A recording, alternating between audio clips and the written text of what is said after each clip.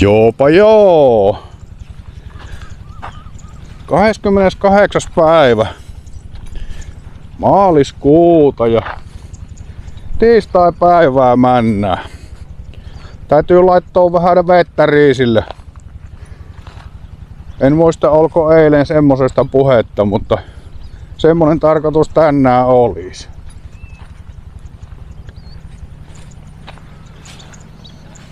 Lämmin päivä tulee tästäkin, mutta yö oli ihan sopivan viileä. Viileä aamulla ei ollut kuin 25 astetta lämmintä. Lämmintä kun heräsin. Käydäänpäs kahtomassa sitä täktäkkiä tuolla. Joku tuossa, joku tuossa kyselee, että saisiko siitä koneesta kuvia.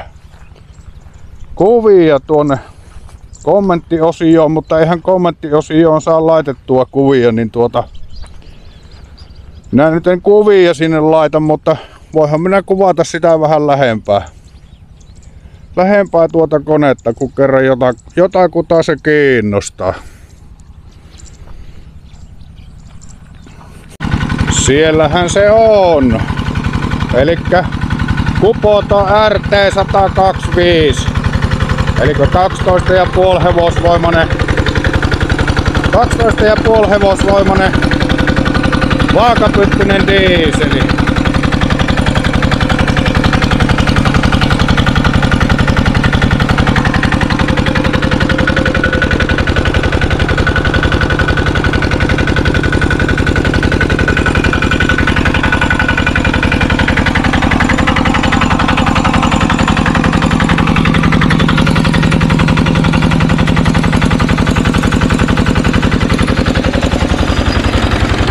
Semmonen vehe se on.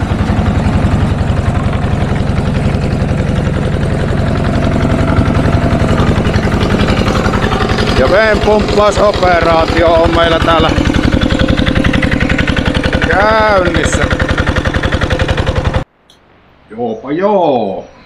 Ollaan kotosalla ja tuota niin, niin tässä minun nyt täytyy ottaa julkisesti kantaa tuota niin, niin yhteen asiaan, kun minunkin asioihin on otettu julkisesti kantaa ja puhuttu paskaa suoraan sanottuna selän takana. Ja tuota,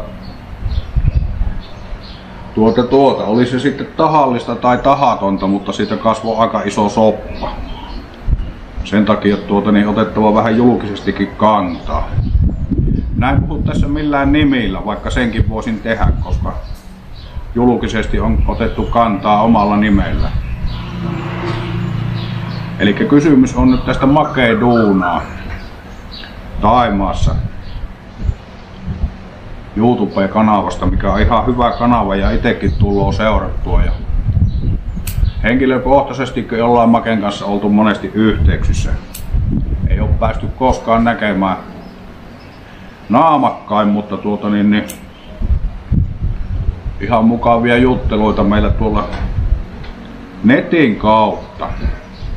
Ja tässä on kommentti Makeen tuolta, Makeen tuolta tuota niin, niin aikaisemman videon kommenttiosiosta. Oli tässä toisen tupettajan videolla, että Make on aina negatiivisella mielellä videoillaan.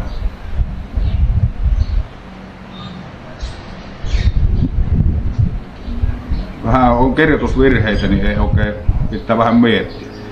Ei minun, ei, tässä lukee, että et, et minun sinä negatiivisilla mielellä näissä videoissa. Eli nähtävästi on tarkoitus sanoa, että et ole minun mielestä negatiivisella vide- mielellä näissä videoissa. Odotan oikein näitä videoita, että pääsee katsomaan touhujani siellä taikamaassa. Kiitoksia videoistasi. Oli tässä toisen tupettajan videolla, että Make on aina negatiivisella mielellä videoilla. Tarina jatkuu. Make kysyy, kysyy tietenkin, että no kenen videolla. Kiva, jos tykkäät videoita katsella. Ja tuota niin, niin tässä kommentoija vastaa, että tuota, oisko Varangin jos oikein muistan. ei noista nillittäjistä kannata välittää. Eteenpäin vaan. Video tulemaan. Semmonen. No arvaatteko, kun kommentoitte tuolle toisen tubettajan videolla, että toinen tubettaja siellä mollaa toisen tubettajan videoita omalla videollaan, niin tuota, kyllähän siitä jo hermostuu. Mutta minun videolla ei ole tosiaankaan ollut, ei ikänä ole ollut eikä tule ikänä olemaan semmosia kommentteja, että minä arvostelisin jonkun toisen tubettajan videoita. Ei varmasti tule olemaan. Ja tämähän nyt lähti tämä soppa siitä, siitä että tuota, siellä oli joskus meikäläisen videolla semmonen kommentti jotakin tuohon suuntaan. Tuohon suuntaan ja minä kyllä kommentoin siihen hyvin kärkevästi ja kärkevästi ja tuota niin, niin sanoin, että tällä, tällä kanavalla ei niin kuin tuota niin arvostella toisia kanavia.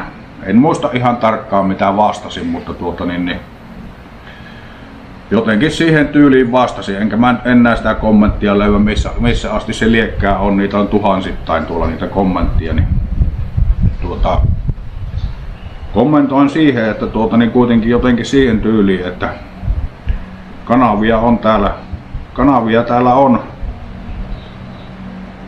YouTubessa jokaiseen makuun ja jokaiseen mieltymykseen ja jokainen löytäköön ne omansa, mutta ei aleta arvostelemaan. Ainakaan meikäläisen kanavalla, niin ei aleta arvostelemaan muiden kanavia. Jokainen tekee oman tyylistään kanavaa ja se on sillä selvä. Ja minäkin kyllä hermostuin tästä, kun tuota niin, niin näin tämän kommentin sitten.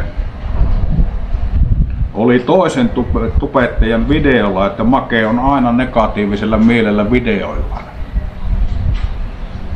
Ja minun videolla ei ole semmoista ollut. Se on aivan varma. Siitä minä olen sataprosenttisen varma. Tuommoiset oisko oisko ukot, niin vois vähän miettiä mitä tuota niin siellä sanoo ja mitä kirjoittelua siellä internetistä. Interneti, internetissä. Semmosia ei pidä mennä kirjoittelemaan, missä ei ole mitään perää. Minä tosiaan voisin tehdä tämä ihan virallisesti nimelläkin tämä, mutta jätetään se nyt tekemättä. Ja tuota, tämä asia on täällä selvä. Homma jatkuu ja tuota, toivotaan, että pysytään asiassa. Ja puhutaan niin kuin asiat on, eikä, eikä ruveta joutavia, joutavia huhuja levittelemään siellä, siellä YouTubessa tai missään muuallakaan mediassa. Ja tämä on, tämä on semmonen homma sitten, että tuota, niin, niin, tämä jää tähän ja tätä ei kommentoida enää sen enempää tätä asiaa.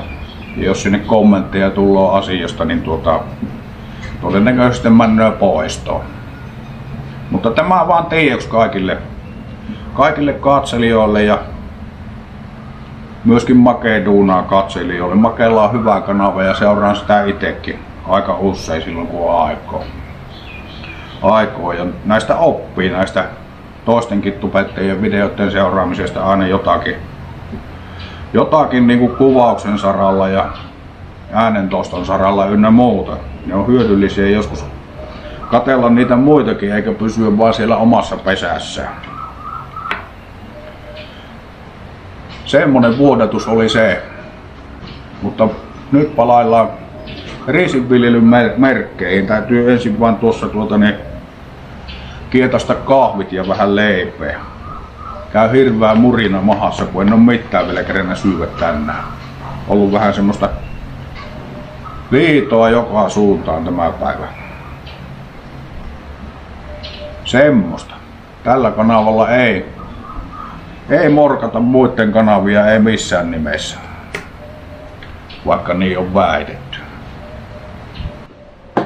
Sen verran vielä tuohon kyseiseen asiaan, että tuota, tuota, tuota. Kyseinen henkilö tuntekoon piston sydämessään tietää itse, itse tämä asia varsin hyvin. Saatoin antaa tulla täyvältä laajalta ja minun mielestä se nyt mänkin oikeaan osoitteeseen kyllä tässä asiassa. Ja edelleenkin tervetullut kanavalle ihan yleensä asiallinen kommentoija, mutta tuota, tuommoisia asioita pitäisi miettiä ennen kuin päästelee suustaan, kynästään tai kännykästään. Ei siinä, asia on loppuun käsitelty ja jatketaan entiseen malliin. Ja tosiaan Ukko on ihan tervetullut kommentoimaan kanavalle, ei siinä mitään. Joopa joo. Eipä sitten kuvattukaan reisipellolla, vaikka niin lupasi, että siirrytään reisipellolle. Kävin kyllä siellä, mutta kamera ei käynyt siellä, se oli kotona. Ja sen takia ei sitten nyt tullut kuvaa siltä suunnalta, mutta joutahan tuota. Täytyy käydä kysymässä tuolta Tannilta, sillä olisi kuulemma romukuorma taas. Ne kerää niitä romuja ympäri kyliä ja pitäisi viedä vissiin tuonne romuliikkeeseen. Täytyy käydä kysymässä, että milloin sillä olisi aikaa. Piti pyörittää tuota firmaa, mutta kysytä. Onhan täällä Longi ruvennut myymään makkaraa täällä kotona. Vaan niin päin, Daimai? Kynkty mong. Daimai? Ja kakko päin. Ah. Okei, okay, okei. Okay. Joo, sillähän on Longilla makkaran myyntivirma nyt täällä. Minä sitä tuossa vähän haastelin, niin se koki liian monimutkaiseksi tuota, niin, niin tuonne tien varteen mennä myymään. Vaikka täällä on myynti kymmenen kertaa pienempi ainakin kuin siellä, niin no se on tehnyt semmoisen ratkaisun, että se ei myy tuolla, vaan myy täällä. Täälläkään se ei myy joka päivä, se myy silloin tällöin.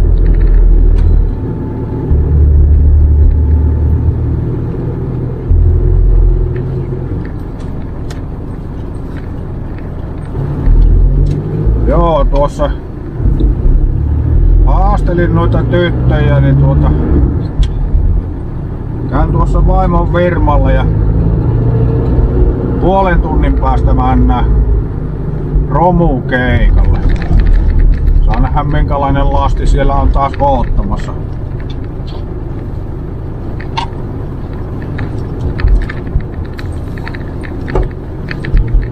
Joskus on aika isojakin kuormia, niin kuin on kanavalla nähty, mutta toivotaan nyt, että edes jollain lailla kohtuullinen kuorma. Pitäis hommata semmonen kuormaverkko, niin se olisi helppo noitten kanssa. Noitten kanssa, mutta kun nekin tahtoo täällä olla niin surkeita, että se on yksi kierros, kaksi kierrosta, niin ne ei enää veny eikä vanu mihinkään suuntaan. Ne on niin huonolaatuisia. Pitäisi löytää sitten jostakin parempi laatunen.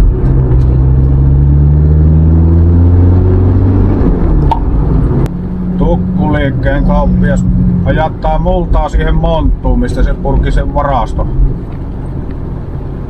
Siihen tullaan sitten tasasta maata. Täällä oli hinuuri. Oli auto, oliko Toyota antanut kaikkensa. En ole varma, onko Toyota, mutta äkkiviliko sulta ainakin näytti sitä.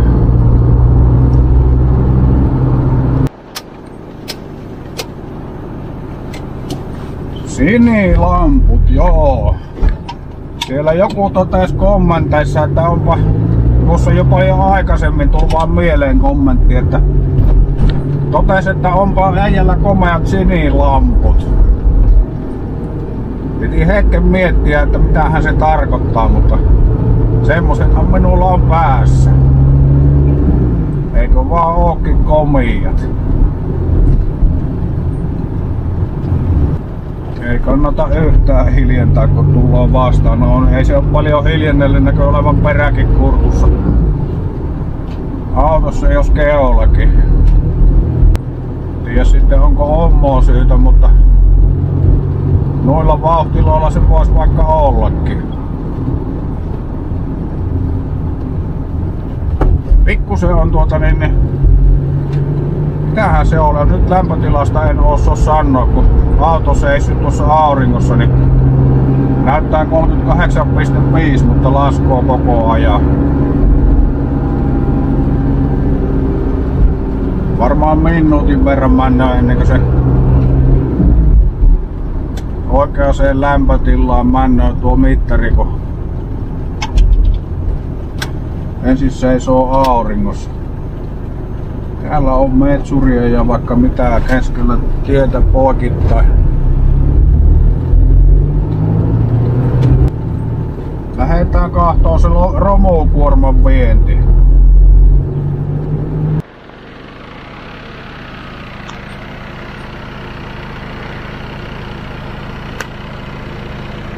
Siellä on poltto leikattu jotakin isompaa putkea kappaleiksi.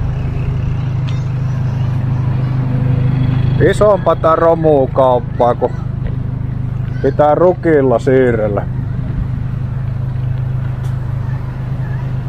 Tuossa olisi noita PVC-putkia, mutta vähän liian pieniä. Olisi voinut tuommoisen nipun ottaa, jos olisi ollut vähän isompaa putkea. Peltohommissa niitä aina tarvii ja niitähän se tuukin kahteli tässä vähän aikaa sitten. Täällä on muuten rojakkata. Rojakkata täälläkin. Tuommoinen kuorma tuli Mitsuun.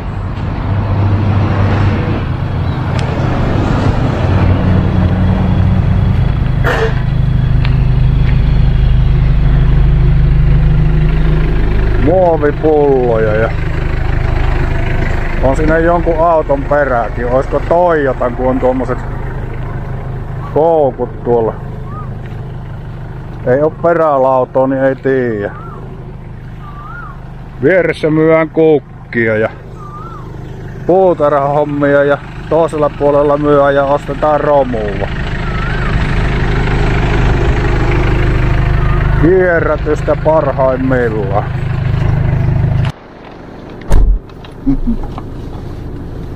Đây เท่าไร มีแบงค์ห้าร้อยด้วย ห้าร้อยด้วย โอ้โหไม่เต็มหกร้อยไหม ไม่เต็ม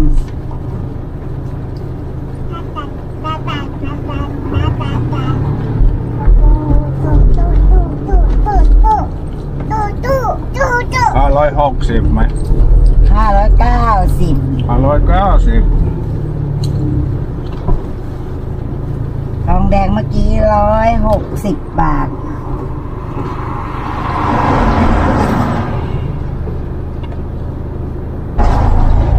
600, ei kun 590 patia tuli siitä kuormasta. ถ้าเหล็กอะเหล็กเหล็กเมื่อกี้เนี่ยกองเมื่อกี้เนี่ยกับรถเข็นอะร้อยสี่สิบบาท ข วดพลาสติกทั้งหมดได้ร้อยสามสิบสามบาท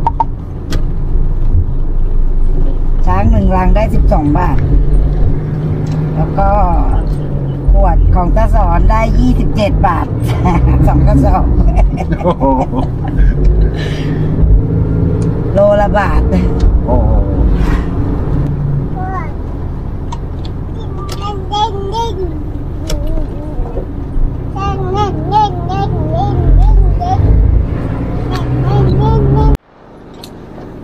Joo, se oli semmonen romureissu. Koirat on vastassa niin iloisena, kun päivä ja kuuma, niin ne ei kyllä paljon... On siellä kyllä pae on pystyssä. Meinasin sanoa, että kun päivä ja kuuma, niin ne ei liiku mihinkään.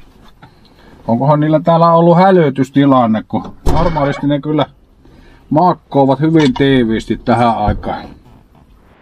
On niillä kyllä ihan selvästikin ollut joku hälytystilanne, kun kaikki läähättää ja kaikki on hereillä. Se ei tarvii paljon muuta kuin oravarapisteloa tuolla puskassa, niin ne on heti, heti on koirilla hällyytys. Mites työ kaikki olette hereillä, hä? Kaikki on hereillä, paikki on hereillä ja pikku, pikkuukin on hereillä, niin. Onko teillä ollut vähän hälytyksiä? Kiusaako ne teidän päiväunia, kiusaako?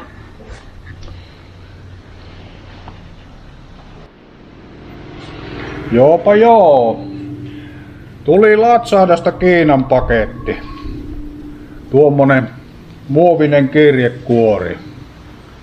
Ja tuota niin, niin vähän kerkesin pakettia testaamaan, sillä tuli tämmönen näin. Eli USB 3 ja 3,5 millin mikrofoniliitäntä kaapeli ja nyt sain nuo minun vanhat mikrofonit toimimaan tuossa uudessa kamerassa, eli Osmo Action 3. Muun muassa tämä karpotussu mikrofoni toimii, missä on 3,5 millin mikrofoniliitäntä. Ja sitten toimii, toimii tuota, niin langaton mikrofoni ja toimii tuota, sitten semmonen pitkälankainen 6 metrin joholla oleva pikkumikrofoni. Eli periaatteessa mä saan toimimaan nyt kaikki mahdolliset kaikki mahdolliset mikrofonit, mitä mulla on, paitsi noita mikrofoneja, mitkä on tällä liitännällä pelkästään. Tällä USB 3, niin niistä ei toimi kumpikaan, vaikka ne pitäisi olla niinku ne pitäisi olla niinku tuolle kameralle tuota niin, niin suunniteltuja mikrofoneja tai tuommoiselle liitännälle suunniteltuja. Mutta tällä piuhalla tosiaan nyt sain toimimaan ja tää on tämmönen kuin tuota niin Boyan BYK9 johto. Eli tämmöisellä joholla saa toimimaan tuota niin, niin Mäpäs näytän tuosta lapusta, niin voi näkyä paremmin. Boya BYK9. Kolme ja puolen millin TRRS Female Type C Male Audio Adapter. Tämmöisellä piuhalla näin yksinkertainen osa niin saa toimimaan tuota niin, niin Osmo 3 Action kamerassa mikrofonit. Tietenkään ihan sataprosenttista varmuutta ei vielä ole tästä asiasta, mutta tuota niin, mitä tuossa äsken vähän testasin ihan niinku tuota tälleen näin äkkiseltään äkkiseltään tässä näin niinku paikalla ollessa. Se pitää laittaa huomenna testiin nyt sitten, että minkälaista ääntä sillä ruppeisi tulemaan. Olenko tyytyväinen vai ei. Jos en ole tyytyväinen, niin sitten hylätään tuo, mutta jos olen tyytyväinen, niin sitten otetaan käyttöön. Ilman muuta. Ja mulla oli noita samanlaisia adaptereita, niin neljä kappaletta erilaisia. Erilaisia tämmösiä ja erilaisia piuhoja. Piuhoja, millä niitä yhdistellä, niin tuota, nyt toimii kaikilla. Tätä piuhaa en muuten vielä kokeillut, toimiiko tällä. Tää on pikkusen erilainen kuin tuo toinen. Toinen, mutta tähän mennessä on toiminut, toiminut ihan kaikilla. Epäili siitä toimii tälläkin. Minulla on näitä adaptereita kyllä vino pino. Täälläkin on yksi, yksi toimimaton vastaava adapteri. Tällä ei tiedä mitään. Ei yhtään mitään, se ei toimi missään kamerassa. Niitä on joskus tullut tilattua, kun noiden kameroiden kanssa pelannut, mutta nyt näyttäisi hyvältä, että ainakin noin äkkiseltään kuulostaa äänenlaatu, niin kuulostaa hyvältä. Mutta se nähdään sitten vasta kun pannaan lopulliseen testiin ja Tämä päivä ja huominen päivä ja varmaan seuraavakin päivä mennään vielä vanhalla kalustolla. Täytyy tehdä testiajoja niin kuin mopolla ja autolla ja tuulisissa olosuhteissa ja näin päin pois. Että mitenkä se nyt sitten ruppee, ruppaa homma toimimaan. Pallaillaanpas kohta asiaa. Nyt meidän on lähettävä kahtoon sitä täktäkkiä sinne pellolle, mitä sille kuuluu. Ai perhana se pitää muuten kahtoa sekki, että riittääköhän sillä polttoaine. Mulla ei ole löpöä nimittäin yhtään kotona. Täytyy vilikosta sekki. Joopa joo! Alkaa olla täyttä. Jätetään täyttäkin pätkättämään tuolle hiissukseen. Saapahan jäähtyä siinä pikkuhiljaa. Kovia tuulen puuskia on kyllä. Jos nämä jatkuu, niin riisi menee lakoon ihan varmasti. Tämä nyt ei oikein toimi tällä hetkellä, kun on tuo etelän, etelänpuoleinen tuuli, niin ei toimi tämä minun hieno katos tässä. Siinä on hemmetin kuuma istua, kun tuo puska on tuossa takana. Tuo puska täytyy tuosta ransia joku päivä pois, niin sit siinä on hyvä istua. Mä oon vähän seurailu, että milloin sinne tulee pesää tuonne puskaan. On nimittäin nämä puskat on just semmosia, että ne tykkää, kun siellä on pimmäätä ja viileätä tuolla puskan sisällä. Siihen täytyy ottaa vähän kirvestä ja vasarata ja vaikka mitä. Mutta mennään istuun tuonne vähän kauemmaksi. Pidetään pieni tauko tässä ja tuolla on noita puita tuolla suunnassa, niin siellä on tuota varjo. Nämä puut ei tosiaan vielä varjosta, mutta kasvaa koko ajan. Siellä on jo 2, 4, 6, 7 lehteä tuolla pukkaa. Tässä vaiheessa vielä pukkaa hitaasti, kun niillä ei ole vielä kunnon juuria. Tämän puskan juurelta me löydettiin nyt hyvä taukopaikka. Täytyy ottaa tässä vähän vettä ja kohta lähdetään ihmettelemään, että josko se vaimo tois meidät tänne keräämään vehkeet. Tässäkin on vähän noita puskia eessä, mutta ei ollenkaan niin paljon. Tähän käy mukava tuuli. Turistit aina ehtii aurinkoa, aurinkoa Taimaasta, mutta kun täällä pitempää on, niin kylläpä sitä ehtii varjoa ja viileätä. Siellä männöö vielä kuorma-autoja ajavat sitä multaa tuolta. Se on sama ukko, mikä aikaisemminkin tässä myi tuota pellon pintaa, niin nyt se myy tuolta alapelloilta. Ne on oikein tuommoisia yhdistelmiä. Ainakin kaksi millä ne ajaa ja yksi on tuota niin tuommoinen missä ei ole peräkärryä. Siplo sanotaan täällä. Kymppipyörä. Joo, täällä on mukava istuskella.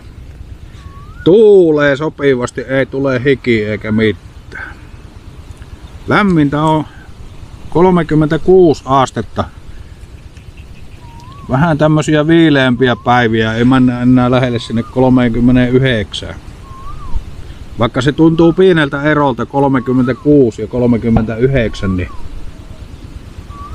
se on niinku tuota niin, niin noissa hikirosenteissa mitattuna, niin se on aika iso ero. Riisillä on kaikki hyvin. Paitsi nyt kun on ollut kovia tuulia, niin tuota, tuota, tuota. Se on pikkusia paikkoja tuolla takana niin, ja tuolla eessä niin on alkanut vähän niin kuin lakoontumaan, mutta se ei ole tässä vaiheessa enää niin nuukaa, kun riisi alkaa kääntyä, se alkaa niin kuin roikkumaan jo näin se painaa, painaa ja tuota, sen takia se tuulella sitten vähän tahtoo lakoontuakin. Joku joskus kysyy, että onko niitä korren lyhentäjä juttuja täällä, että saisi niinku lyhy- lyhyempää kasvua. Niin kasvua, niin tuota, kyllä niitä on, mutta ne ei oikein käy kaikille riisilajikkeille hyvin. Hyvin niin kuin ei tälle 5 Että jos laittaa korrelyhentejä, niin se tahtoo sitten tuota niin jostakin syystä jostakin syystä pienentää tuota jyvää kokoakin, että sitten tulee tuota tonnia paljon vähemmän. Ja me on katsottu se sillä lailla, että vaikka se vähän lakoontuu sieltä täältä ja saattaa sitten mennä pikkusen jossakin paikoissa pilallekin, jos joutuu vettä laittamaan lakoontuneeseen riisiin, niin sehän tuota, sehän märkänöö sinne. Mutta sitten jos se lakoontuu oikein kunnolla, että tulee oikein kunnon myrsky, niin kuin jossakin takavuosien videolla näkyykin tuolla pellolla oli, niin sehän lakoontui käytännössä niin kuin kaikki. Tuli semmonen oikein kunnon ukkosmyrsky ja kovia tuulia, että puita kaatui ja kaiken näköistä, niin semmoinen lakoon kaikki. Ja siinä vaiheessa ei auta muuta kuin ottaa veet pois. Ja veet pois ja kahtoo mitä tullut. Se hiastaa sitä tulentumista ja tulentumista ja sitten osa painuu sinne maahan ja kurraa ja on pilalla ja puimurilla ajaminenkin on hankalata, kun jos se on lakoontunutta, niin se on otettava hyvin tarkkaa, että hyvin tarkkaa, että sieltä jotakin saa. Ei tässä nyt vielä mitään huolta ole tämän pellon osalta. Tämähän on nyt niinku 10 raita. 10 raita, missä on tätä 5 seiskaa ja sitten nuo alapellot on tuolla alapellot on tuolla, niin siellä on vähän semmoista jasmini riisin tyylistä riisiä tillaustyönä. Saatiin hyvää kauppa siitä, niin ensin oli tarkoitus samalle laittaa kaikki, mutta tuota pantiin sinne sitten vähän tillaustyötä tulemaan. Eli nyt puijaa ensimmäisenä, kun poimuri tullut, niin puijaan tämä 10 raita tästä. Ja tuolla on joku 22 raita. Sitten toista riisiä ja ja ja. Tää minun piti sanoa. Nyt, nyt tuli kyllä ihan ajatuskatko. Niin, sitten tuota niin, niin kun saadaan se sammakkokin tuli siihen viereen. Saadaan se tuota niin, niin puitua, niin sitten minä kerron teille sen, että kuinka paljon näihin peltoloihin on nyt mennyt rahaa ja kuinka paljon sitä rahaa tulee sitten takaisin sieltä. Eli paljonko jää niin kuin sen kuuluisa alaviiva alle. Minullehan tästä ei jää yhtään mitään, sen minä tiedän. Sen minä tiedän, mutta tuota niin, niin mitä vaimolle jää, niin lasketaan se. Vaimokaan ei oikein ikinä osaa laskea, tai osaa se laskea, mutta se ei viiti. Niin tuota, näitä voittorosentteja ja alaviivoja ynnä muita.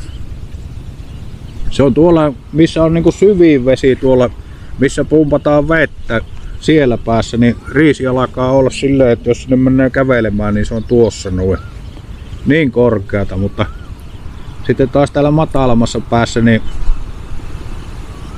se on tuossa hilikun kiliku, että hilikun kiliku, että tuota niin, niin tullako nappaa asti. Riisi, riisi on semmonen, että syvässä veessä se kasvaa korkeammalle ja matalammassa veessä se ei niinkään. Mutta vaikka on pelto pikkusen tämmönen kalteva, niin siitä tulee ihan tasainen, niin kuin, tasainen pinta, kun se oikein kasvattaa. Mutta eipähän siinä, palataan asiaan.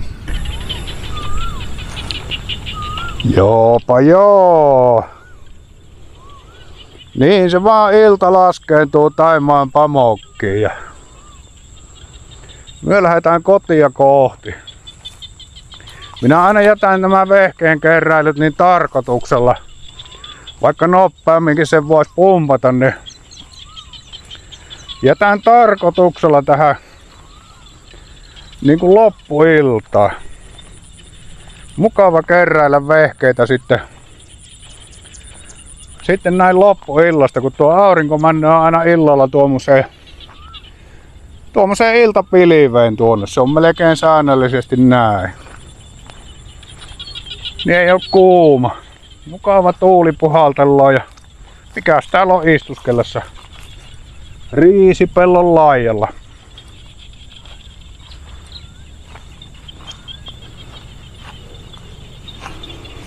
Täk, täkki sinne meidän ootteloa, että josko lähette kotiin leppäämään.